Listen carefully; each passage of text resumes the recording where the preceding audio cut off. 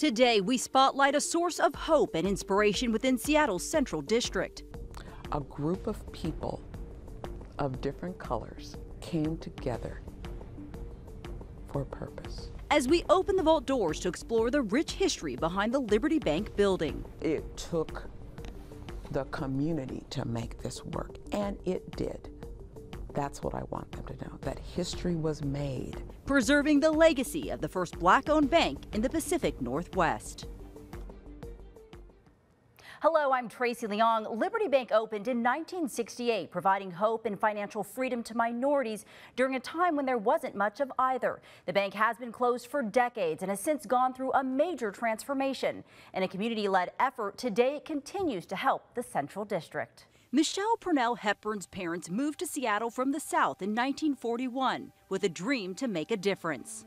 My grandfather basically sent a, yes, uh, Western Union wire uh, to uh, my parents saying that the streets out here are paved with gold, meaning you could make something of yourself.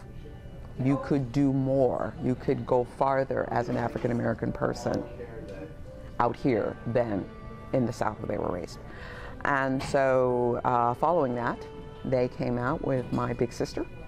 Their mission to create financial equality as a response to redlining in our region. My father always believed that African Americans needed access to capital. Her parents, James and Mardine Purnell, were two of the 10 founders of Liberty Bank, the first black owned bank in the Pacific Northwest. We wanted our own access to capital we wanted to be able to support the central area. We wanted to be able to support, again, the term then, minorities, the term today, people of color, to reach their business dreams, their home dreams. You couldn't just apply for a loan online. you physically had to go. And so when Liberty Bank opened, it attracted over a million dollars in deposits. This is 1968 uh, in its first one or two months. That was unheard of. And also, that was a time when you just didn't call your financial institutions and say, could you just transfer my dollars from here to there? You physically had to go to your financial institution, get a cashier's check, and then take it to then Liberty Bank. And so the community was thrilled. And the building itself, it was all about another extension of community is Mel Streeter, the architect, was also African American. So it was built by us for us.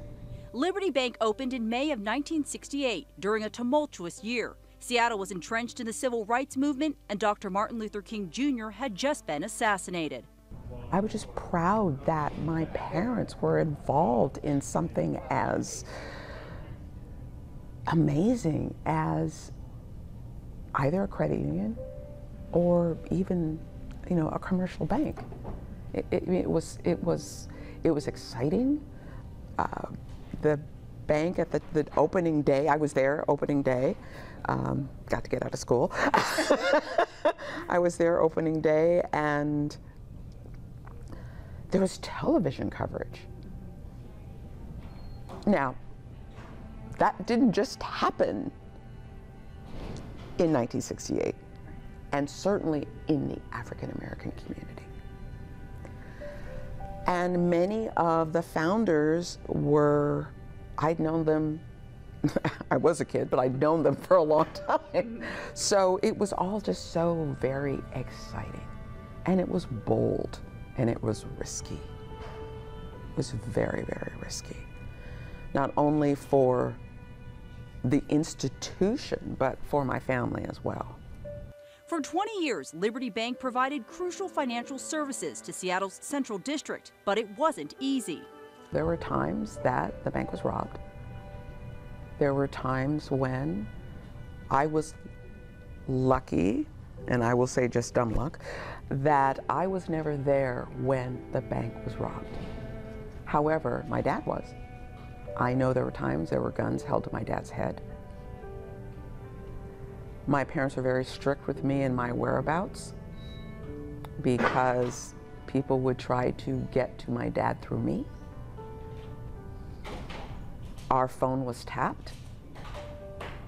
I could hear them on, I could get on the line and hear, but they're on. So having a financial institution in the hands of um, primarily uh, a minority owned, um, in a minority owned financial institution at that time hmm, was not easy. And at the same time, I would say I have one of the documents I have many documents. I seem to be the treasure trove of Liberty Bank for my family. And they would not allow my dad to be the first president. They would not allow not only a husband and wife, they would also not allow an African American to be the first president of a minority owned bank. Michelle's father would go on to become the third president of Liberty Bank. It was so novel at the time. It was so novel. And when President Jimmy Carter was interested in how to help minority owned banks across the United States.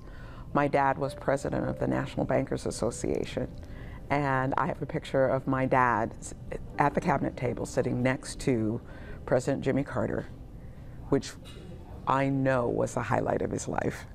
And her mother played a vital role as well. She was right beside him all the way and to see them both either at an annual meeting and him doing his role, her doing her role. Yeah, I'm, many children just don't get to see that. Uh, see their parents at their, you know, at the height of their careers and also at the height of their just service to their community. Uh, lifting as we climb was always a motto that you don't get anywhere by yourself as you get lifted up, you have to lift someone else up. And so that's just the motto that we live by. And that has resonated with me all these years. As a little girl, Michelle remembers watching her parents with amazement. What Liberty Bank was able to do was support it in a more tangible financial way.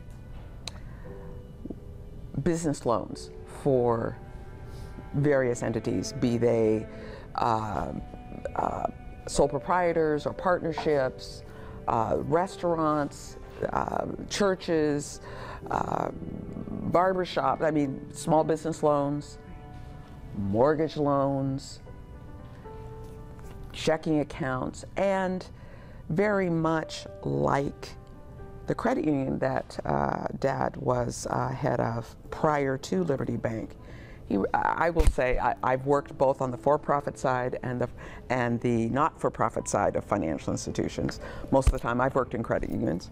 I wonder why, because of because of uh, mom and dad. And when I want, when I say he ran it like a credit union, we knew everyone.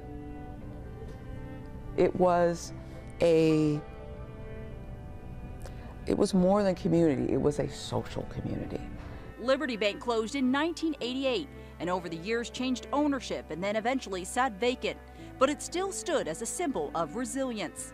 The effort to designate it as a landmark fell short, but Michelle's fight to preserve the bank's history became a community-led project by Capitol Hill Housing. They had meetings with the community and with Africatown, and they really pushed for what meant most to the black community here. Joa Snowden is the Liberty Bank building site manager. The redevelopment project opened in 2019. It now provides affordable housing and support for black owned businesses. The company itself recognizes the issues and that, you know, people are being priced out of certain areas and we're trying to create affordable housing where a lot of people can't necessarily afford to live. So I think a lot of residents in, they recognize that and they appreciate it and they really wanted to preserve as much of that history as possible. So they went through so like with the bricks, the basket woven bricks, those are bricks from the original building that the construction company was able to salvage. Um, and then just like with the safety deposit boxes that we have here, as well as all of the drum benches have safety deposit boxes in them.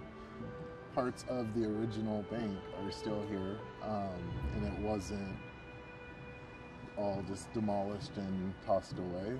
The first thing you see when you walk into the Liberty Bank building is the original vault door from the bank, which serves as a symbol of hope for the community and the people who live here. Michelle was on the advisory board for the redevelopment project, working with community organizations to help finalize the layout, artwork, key historical pieces, and a wall with the founders' photos. The fact that they were willing to raise the legacy and to keep the legacy. And let's face it, Seattle needs low cost housing. Desperately. And so it seemed to be the right thing to do. I get to preserve the legacy. Uh, mom, dad, all the founders get to be recognized and we get to preserve the history and we're doing good for the community at the same time. And for the residents, it reminds them of what once stood on 24th and Union. That helps people to take more pride in where they live at and know that it's not just any regular apartment building, but it's actually like a part of all of our history and even just a part of Seattle's history in general. You don't necessarily have to be African American to appreciate that Seattle was the place where the first black owned bank was at.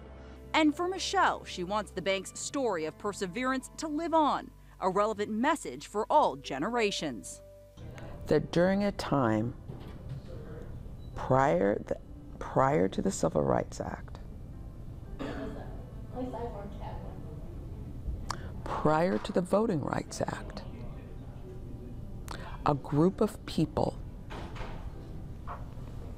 of different colors came together for a purpose. A purpose to better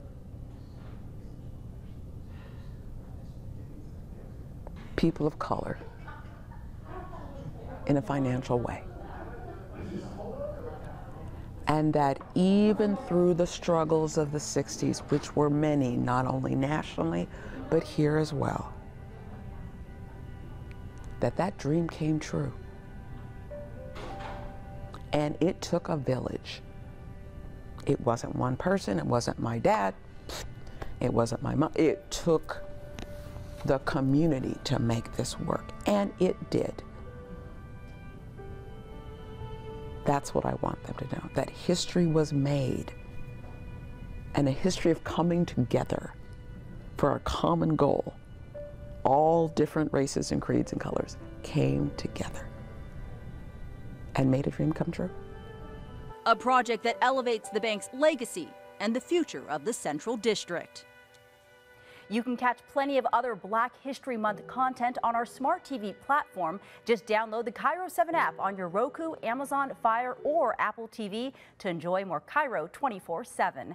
Thank you for watching this Black History Month profile, an in depth look at the history of the Liberty Bank building. I'm Trace Leong. This has been a KIRO 24 7 special.